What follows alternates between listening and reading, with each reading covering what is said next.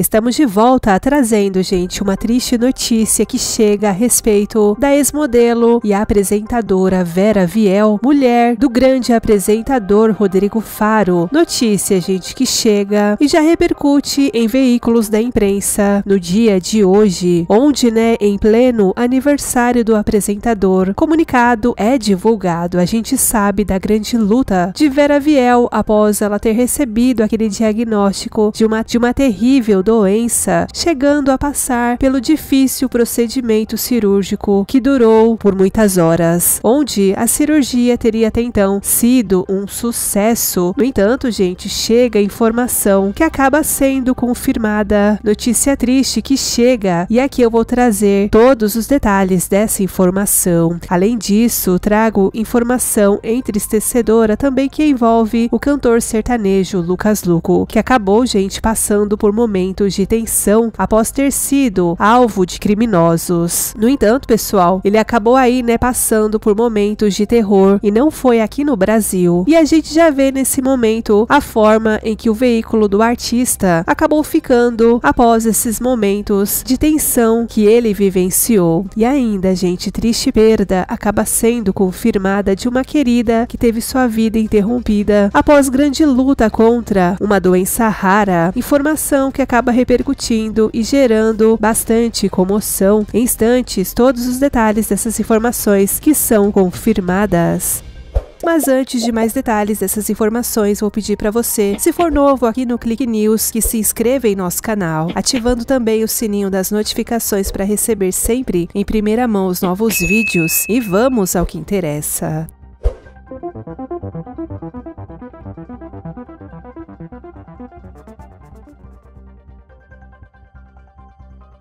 A gente inicia com essa triste notícia, notícia de perda que entristece e que abala. Isso porque, pessoal, lamentavelmente é confirmado o falecimento de uma querida que no auge da vida acabou falecendo após travar uma grande luta pela vida. Ela chegou a ser levada ao hospital, ser internada e embora todas as tentativas, todos os esforços médicos, lamentavelmente foi confirmado que ela veio a óbito, onde não resistiu após complicações da doença e teve morte cerebral confirmada. E o diagnóstico dessa rara doença foi feita após uma série de crises dolorosas e os sintomas começaram com dores no corpo inicialmente confundidas com dengue. As dores seriam tão intensas que ela precisou tomar morfina. Infelizmente não resistiu e acabou falecendo com apenas 23 anos. A estudante de medicina e filha do ex-prefeito de Luz Luzilândia, Maria Clara Saboia. Ela estava numa intensa batalha contra a porfíria aguda intermitente, uma doença genética rara. Maria tinha o sonho de concluir a faculdade de medicina e sonhava em atuar na saúde pública.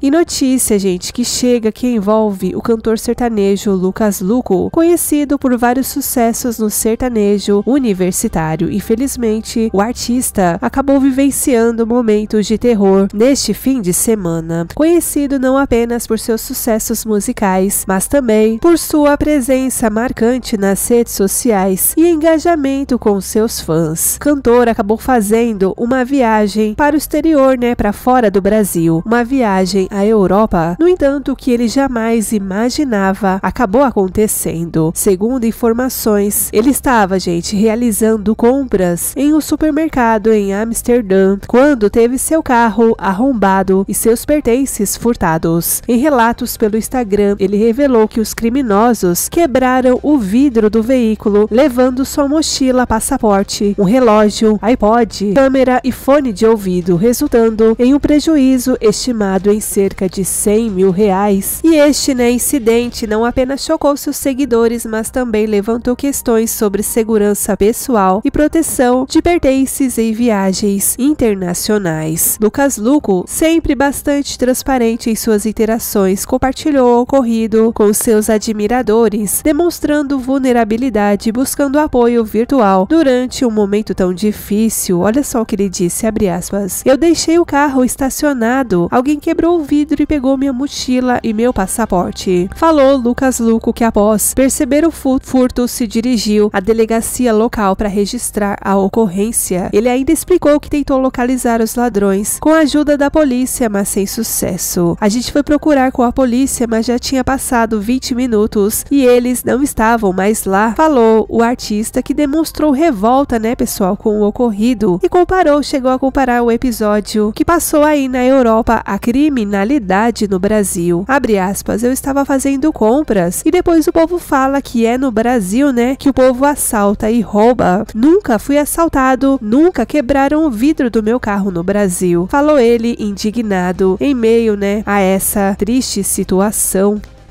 E notícia, gente, que chega, que envolve a apresentadora e ex-modelo Vera Viel. A gente recentemente trouxe informações em relação ao estado de saúde da mulher do apresentador Rodrigo Faro. E para quem não sabe, inicialmente ela acabou percebendo um inchaço anormal na região de sua perna esquerda e sentia dores, né, que não diminuíam com o tempo. Ela percebeu esse nódulo durante uma aula de Muay Thai. Foi quando ela foi fazer uma drenagem que faz toda semana, logo depois a essa aula que ela realiza. E aí, gente, sua massagista sentiu esse nódulo na sua coxa que teria começado a ficar dolorido. Inicialmente, ela pensou que havia se machucado durante o exercício, mas a dor persistia e por isso ela então, com todo o apoio de sua família, né, de Rodrigo Faro, resolveu então procurar ajuda médica para sim investigar o que poderia ser, para sim, né, pessoal, descartar algo mais sério que poderia impactar sua vida, sua saúde de modo geral. No entanto, após os exames médicos, o que eles mais temiam aconteceu. E os médicos, naquele momento, deram a difícil notícia de que após a biópsia, o nódulo, né, seria infelizmente um tumor maligno, algo então um pouco mais sério e mais complicado, já que a doença, quando né, o resultado é maligno, geralmente esses podem crescer mais rapidamente e até mesmo invadir os tecidos próximos próximos, já que pode assim ter a capacidade de invadir os tecidos circundantes e se espalhar para outras partes do corpo através do sistema linfático ou corrente sanguínea. E aí, né, após esse resultado, rapidamente a equipe médica de Vera Viel, ali em um dos mais renomados hospitais do Brasil, tomaram então a decisão de que ela precisaria passar com uma certa urgência por essa cirurgia após o diagnóstico de um sarcoma sinovial tipo raro e maligno de tumor, que se desenvolve geralmente nas partes moles do corpo ou em músculos e tendões. E por isso os médicos, então preocupados com os resultados, optaram por fazer esse procedimento o quanto antes devido ao seu quadro de saúde, um momento, né, gente, que transformou sua vida de maneira abrupta, mas ela não hesitou e chegou a compartilhar sua batalha publicamente, revelando uma força impressionante desde o princípio do diagnóstico. Ela então, né, passou por essa cirurgia delicada que durou mais de oito horas, onde os médicos dedicaram máxima atenção para remover completamente o tumor. A complexidade do procedimento refletiu a necessidade de remover, assim, uma quantidade significativa, né, de tecido para assim assegurar que fosse totalmente retirado. E claro, né, gente, essa enfermidade aí demanda de cuidados extremos devido à sua natureza traiçoeira, tornando o tratamento ainda mais desafiador, delicado e complexo. Mas Rodrigo Faro, seu companheiro, seu marido, proporcionou apoio incondicional, mostrando o poder da união familiar em tempos né, difíceis. Após a cirurgia, no Hospital Israelita Albert Einstein, onde removeu o tumor, a expectativa era um caminho de recuperação tranquilo. Ela chegou a receber alta médica do hospital. Momento, né, pessoal, de grande alívio e também de muita emoção. Para quem não viu, Rodrigo Faro chegou a postar um vídeo do momento emocionante de quando Vera Viel retornou para a mansão deles. Chorando, ela apareceu no carro muito comovida em meio, né, ao retorno para casa, onde eles chegaram a fazer várias publicações em agradecimento pelas orações em meio a esse momento. E em meio, né, gente, a um fim de semana de comemoração, já que Rodrigo Faro vem completando seus 51 anos de idade, ela inclusive chegou a fazer fazer uma homenagem ao marido, publicando uma foto tirada durante a internação e abriu o coração sobre a relação com o comunicador, destacando a importância do seu marido no momento extremamente difícil. Porém, gente, chega uma notícia triste que foi inclusive dada, né, pelos médicos que vêm acompanhando Vera em todo esse processo e anunciada pelo próprio apresentador Rodrigo Faro, que por meio das redes sociais anunciou essa informação, trazendo, gente, novos desdobramentos em relação à real situação de Vera. Isso porque, de acordo com informações que chega, Vera, embora tenha recebido alta, já se recuperando no conforto do seu lar, sua luta, gente, ainda não acabou. Informações que chegam é que Vera aí vai continuar seguindo o tratamento e deve, né, por conta da gravidade da enfermidade, passar por mais uma etapa do tratamento, onde, né, infelizmente é confirmado que embora ela tenha passado por essa cirurgia complexa, Vera precisa aí continuar o tratamento, onde ela precisará aí de muita oração para enfrentar essa nova fase. E Rodrigo Faro chegou a pedir orações, crendo na cura completa de Vera Viel.